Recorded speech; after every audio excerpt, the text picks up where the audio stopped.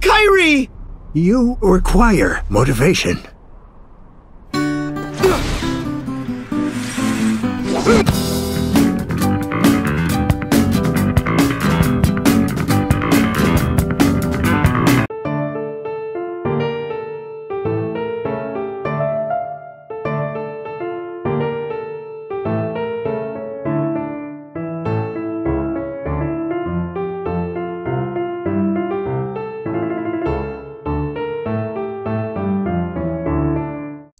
Did you hear the news? Apparently, the fact that I think painting literal Nazis as sad and sympathetic is a bad thing means that I'm a sociopath who hates compassion. I mean, I've talked about the importance of compassion many times, but how silly of me to realize that compassion was an absolute and not something taken on a case by case basis. Gosh, how could I have been so stupid? Silly me with my nuance. What I really should have been doing is taking one moral concept and trying to force it to apply to every situation. That's what the truly smart people do. Oh, and let me deliver my thesis to you in this really soft, reassuring tone, because I wouldn't want you to think I'm being too abrasive and start plugging your ears and refusing to listen to everything I say because I won't delicately hold your grown ass adult hand through concepts that literal children would have no trouble understanding, you fucking idiot. As I mentioned in several other videos, community perception and absolutism kneecaps the discourse. People accept that redemption arcs are good, but they don't know why, and so assume that all redemption arcs are good regardless of quality. This isn't even getting into snapshot redemptions, which are just redemption stories written badly, often because the writer doesn't understand why redemption arcs work and is just hastily rushing one in because they think they're supposed to. In reality, redemption arcs and forgiveness only work in certain scenarios with certain types of characters.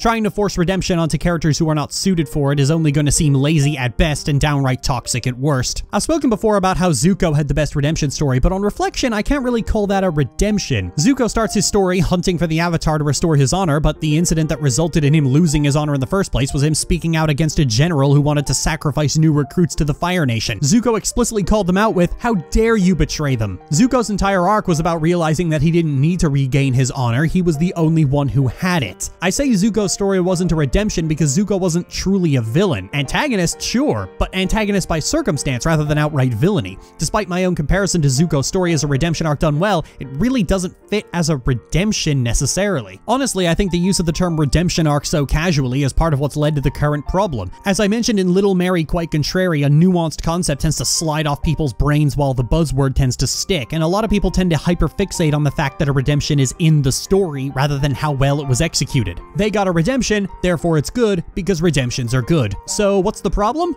Simple. Redemptions have to be earned. You don't just get them. A big problem with modern cartoons is that they tend to just shovel redemption stories onto characters who haven't earned them, usually within a single episode. Let's start with the big one, the Diamonds. Yes, I am gonna beat this drum again, shut the fuck up. In Steven Universe, the Diamonds are talked down from their fascist tyranny by well, essentially a comeback. It's revealed in what is hopefully the final episode of Steven Ubermensch that White Diamond is sad and tries to force everyone to be perfect. And Steven essentially just says, hey, it's bad. Aren't you tired of being bad? The problem with the diamonds in particular is that they've crossed what's known to people who have even so much as glanced at TV tropes within the last five years as the moral event horizon. This is the point where their actions have become so heinous, so abhorrent, so completely evil that there is no escape from it. When villains or antagonists cross the moral event horizon, redemption is simply no longer an option for them. The diamonds cross this almost instantly in the series. They are routinely committing genocide against their own people for not living up to their idea of perfection. They show a complete disregard for organic life, and they talk about obliterating millions of gems by blasting Earth with such a casual air that it sounds like mass murder is a common everyday occurrence for them. They've crossed the moral event horizon. God, I fucking hate using TV tropes terms in serious videos. But they get hastily rushed redemptions anyway. Why? Well, because Steven Universe as a show is pushing a narrative of problems being solved by talking about your feelings, and Rebecca Sugar has no restraint when it comes to stakes. If the Diamonds were meant to have a redemption arc, their crimes should not have been as extreme as they are. The Diamonds are Nazis, there's no denying this. They behave the same as Nazis, they believe the same things as Nazis, they have a body count on par with the Nazis, they are Nazi expies to a T. The problem is entirely in the stakes. People tell me that the Diamonds are a metaphor for abusive parents, and while I can certainly see that, the fact of the matter is that they didn't need to be a totalitarian space empire to do this, and there's the problem. Steven Universe is reaching for allegory and metaphor to portray things that they could just as easily portray directly, and thus we reach for space alien rebellion and war because for some reason Sugar wants everything to be super epic. Steven Universe is full of crossed wires and mixed messages, which is what makes the redemption of the diamond so gross. Sugar wanted to tell a story about talking out your feelings and abusive parents growing up and cutting out their bullshit, or at least she does this week, the themes change every time she's asked, which is actually a great idea for a story, but she made those people also be space fascists, which completely upended that story. She wrote a redemption story for characters who are irredeemable. And this problem is all over the medium right now. Redemption stories get hastily bolted onto characters who go extremely over the line, cross that moral event horizon, and then keep sprinting past it. And oftentimes the only pressure valve the character has is feeling sad about something in the past, and oftentimes said past trauma isn't actually trauma. Starlight Glimmer is the most egregious example of that particular bugbear because she started a totalitarian death cult and enslaved ponies to her will, entirely because a friend moved away when she was little. Now, this is something a lot of people my age experienced when we were little. Friends move away and it's really sad, but never has someone started a totalitarian death cult as a result of it because it's not that traumatizing. Starlight's actions are so extreme and over the line, and her excuse is so pathetic, but she encounters no punishments and no skepticism. She's given a massive amount of privilege and status, and throughout the series, she routinely relapses into her previous shitty behavior and she never improves. This is a bad redemption story. See, we can hand wring about whether this kind of blind compassion is a good thing or not, and that's what most of you are going to do anyway. The comment section is going to be full of, so I guess you don't believe in compassion then?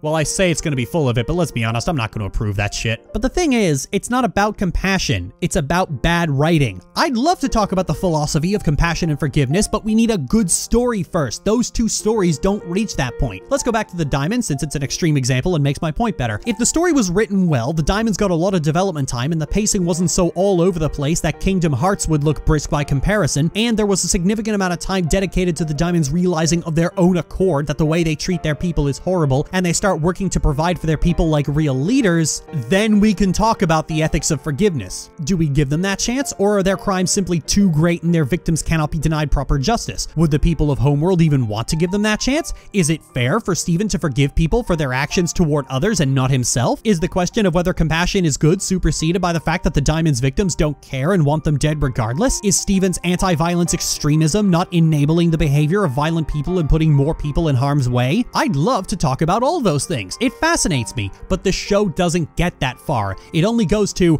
I'm evil and murdered billions of my own people because I'm sad. Stop being sad! Okay, I'm not evil now. Let's ignore my massive list of crimes. Whether compassion or forgiveness is good doesn't matter. The writing is garbage regardless. But this is where the conversation grinds to a halt because the knee-jerk cretins calling me a sociopath ultimately don't recognize the terrible writing. They think Rebecca Sugar is some unappreciated genius and Steven Universe some wonderful and deep show rather than the hodgepodge of half-understood ideas and constant distractions that it really is. There are good forgiveness stories and there are bad forgiveness stories, and most of the forgiveness stories we've been getting for the last few years are bad. And here's the thing, they can be easily fixed. Like, we don't even have to go into all that philosophical shit. This can be fixed almost instantly. How do we make Starlight's redemption work? We dial back the severity of her crimes a lot. We don't even have to change her stupid backstory. We just need her to not go right to 11 from the start. How do we make the Diamonds redemption work? We don't write them as the illegitimate daughters of Stella Kubler and Xehanort. It's not that hard. I'm not making some crazy extremist rant here.